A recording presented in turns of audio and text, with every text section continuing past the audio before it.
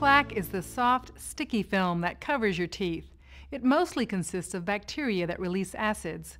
Over time, the acids can break down your tooth's enamel and cause cavities. When not removed, plaque on the teeth will become hard and turn into calculus or tartar. The buildup of plaque and tartar can cause the gums to become tender and swollen, an early stage of periodontal disease.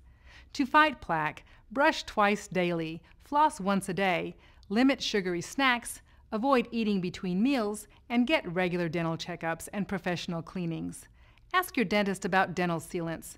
Sealants can be applied to the chewing areas of your teeth to help prevent tooth decay. Taking these steps to prevent the buildup of plaque on your teeth is important to maintaining good oral health.